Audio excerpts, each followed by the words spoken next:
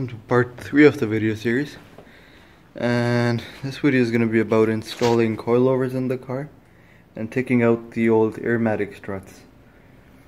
Um, but first of all I just want to start with where we left off in um, part 2 we were, I had to make the front brake inlets for uh, the brake ducts. So I got my brake ducts um, and I connected them back to the brake rotor but I still have to make the inlets over here. Okay, so I have the grill here. Uh, this is the grill where the fog light mounts on the side. Uh, here's where it goes on the car. And what I'm planning to do is, um, instead of where the fog light goes, I just want to make a carbon fiber part there. Uh, so basically the air can go through that and I'll connect a steel tube at the back where my hose would mount on. So to make any composite part, first you need to make the mold for it. And the good thing about composites is that it's really easy to mold um, composites. You can pretty much mold them around uh, any material. I'm using this um, styrofoam just because it's extremely easy to cut. Okay, so I've cut the foam uh, roughly in the shape which I want my carbon fiber piece to be. Uh, it's not really neat, it's really rough, but uh, I'm just making this in a hurry.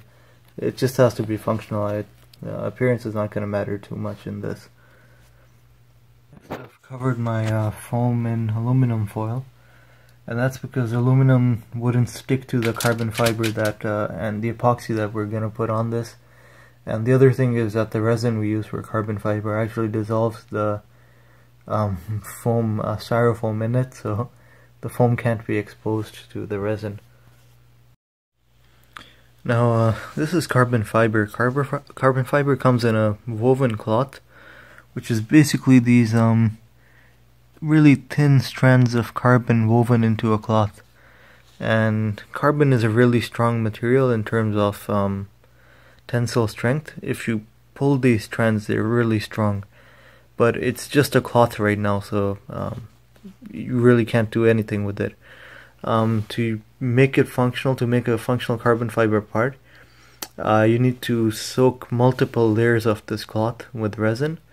And what the resin does is it's basically a really hard plastic.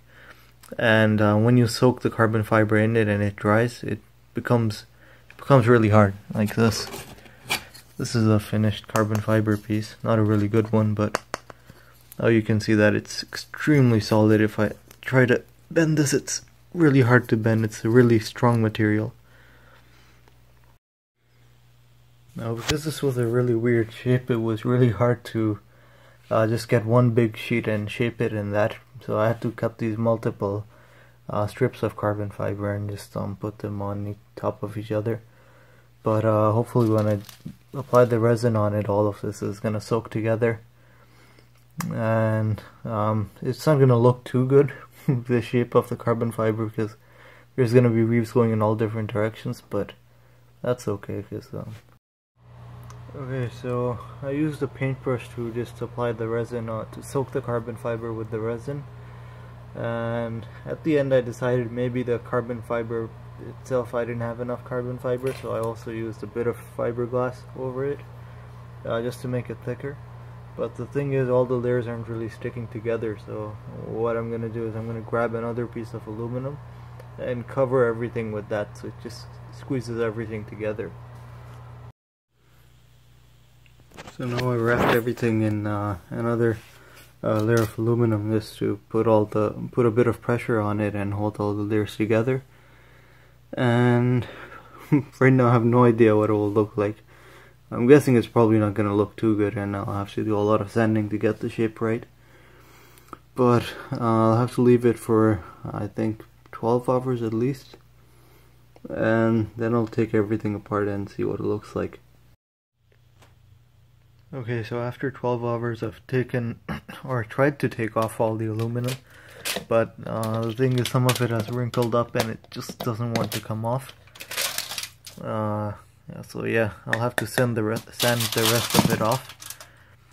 Uh, the surface isn't too bad. It doesn't look too good either, but it's okay. It's just um, it's just a quick part. So, and um, once I'm done um, sanding all the aluminum off and uh, just giving the carbon fiber a better shape, I'll need to cut the excess carbon fiber off. So I'm just left with how much I need, and I also need to cut out a hole over here where my steel tube would go. So after a lot of filing, sanding, and cutting, this is what the part looks like. Um, yeah, it's roughly the shape I wanted it to be. Uh, and um, after the sanding, the carbon fiber gets this rough texture, but here's the magic part. I'm just gonna spray some clear coat over it, and that's gonna bring back the carbon fiber texture. Not the best looking part, but I was I did make this in a hurry, so yeah, this is pretty much the quickest carbon fiber part you can make. And well, it's the right size and everything, it will work. I'll just glue this um, uh, metal part onto it, and it does fit in my um, thing, so I'll do that next, and then I'll be done. This only took me, I think it took me what, um, less than a day to make. That includes the 12 hour drying time for it. Okay, so here's how it all looks like when it's all glued together and everything. I use just uh, simple wire ties to secure everything in place. Uh, the glue is still wet, I just applied it. Um, and here is what it will look like from the front. So here's what it looks like when it's finally mounted on the car. Not the best carbon fiber part, but maybe we'll get to better carbon fiber parts when I'm making my aero parts later on in the project. Uh, so yeah, the brake duct goes all the way back to the backing plate, which we made in part 2. And now that I'm done with this, let's get to the suspension. Alright, so this is one of the front air struts from the E55. Uh, comparing that to the coil spring I'm replacing it with. Uh, you can see the coil spring is much smaller, it's, a, it's slightly lighter, uh, the air strut weighs 9 kilograms, the coil spring weighs 5.5 kilograms. So not a significant difference in weight, but still it is something.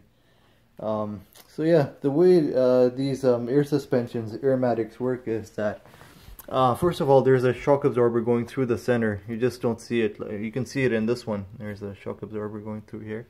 Um, but it's all covered in this one, so you don't see it. But there's an adjuster over here that can adjust the dampening off the shock absorber. So when you have your car in um, the stiffer setting, it stiffens this up. When you have it in the normal setting, it loosens it up and your car rides softer.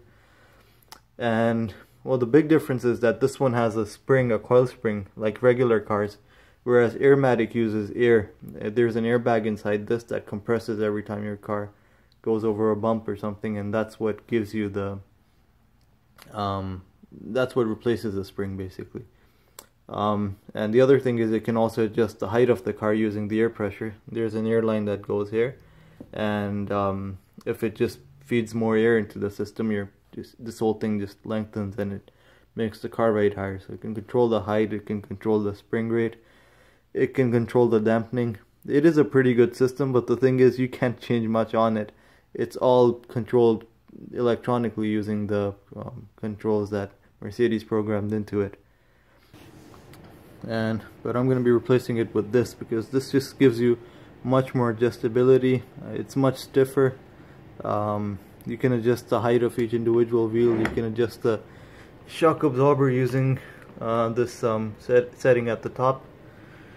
Uh, so yeah that's the idea behind um, coilovers. They're not just putting coilovers in your car would not necessarily necessarily make it faster it's just that they give you the ability to adjust your suspension according to your needs. And um, that's what basically would make it faster. If you do the proper setup for your driving style for the track get the right balance from the car um, okay so for removing the air strut on this car the process is that uh, first you have to remove this air line by removing this nut over here then unplug the sensor obviously okay there. And then open these three nuts over here. And once that's done this just falls down. And there's another nut at the bottom let me just the light. Uh, the lower nut over there that I have my breaker bar connected to. And once that's off there's another wire over here that needs to be removed. And after that hopefully this thing will come out. Okay, so now the bolts on the top are out, the air line is out. And also, the really hard to remove bolt at the bottom over there that mounts on the lower control arm, that's uh, out too. And also the wire for the damper, this wire. But now the problem is that uh, I can move the suspension a little, but there's still a lot of force holding it up. And I think most of it, most of the thing uh, that's going to restrict it from coming down is this ball joint right here. So what I'll need to do is I'll need to remove the three. I could actually, I could remove this nut and um, try to get the ball joint out, but the problem is these ball joints are stuck in, they're really hard and it's really hard to um, get it out this way. The easier thing to do is remove these three um, nuts over here and uh, just take the entire ball joint out. Okay, so the three um, nuts holding the ball joint in place are out. So hopefully it should come out when I pull it. No, there. Okay, now the strut is out. And the next step for me is to remove my upper control arm. Uh, this is not necessary for installing the new coilovers, it's just because I want to add more camber to my front suspension. So I need to take it out and um, drill the holes out. The reason I decided to um, increase the negative camber on the front is because on the last track day my tires were, um, most of the wear was on the outer wall of the tire which basically indicates you're not running enough camber, enough negative camber. Uh, so yeah, that's why I'm increasing the camber by another degree. Right now it's at 2.3, uh, this will probably take it to 3.3 and um, the other thing is increasing the camber at the front also decreases the understeer which is what the car was doing on the last track day so hopefully it will improve the balance. Okay so I have my upper control arm in my basement now and I'm just drilling the holes. I'm drilling uh, smaller size holes first just so any smaller drill is going to be more accurate than a larger drill so. Okay, now my smaller holes are drilled, and now I'm getting to my bigger holes with the proper size drill bit hole. Alright, so here's what the control arm looks like after the bigger holes are drilled. Um, now I just need to take a filer and file out that middle section between the two holes, this section.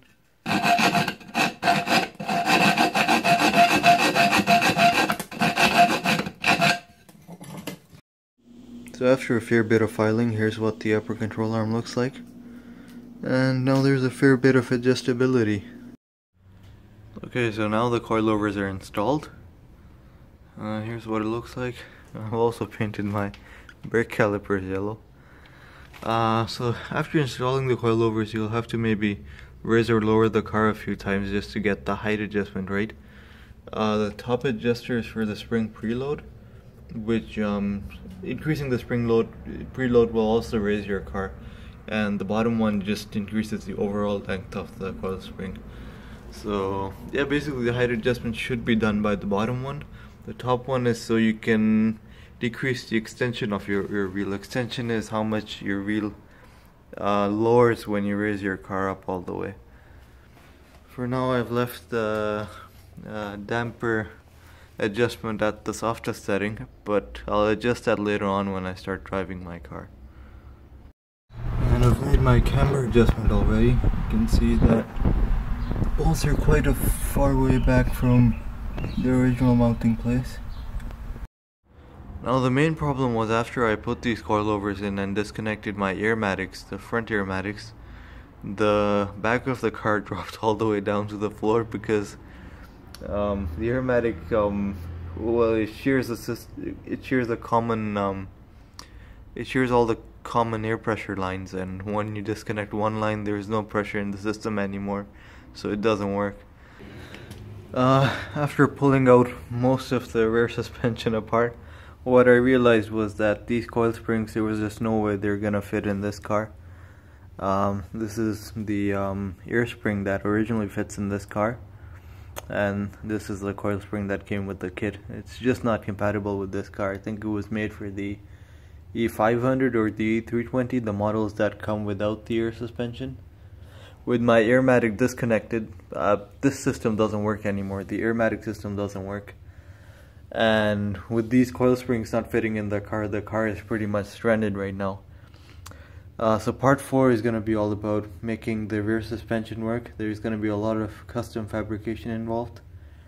I'm thinking about going with pushrod suspension, which is going to be really hard to make on this car and most of the things are actually gonna have to go in the trunk because there's no space over here to uh, mount the pushrod suspension. So it's gonna be a really difficult job but all that is to come in part 4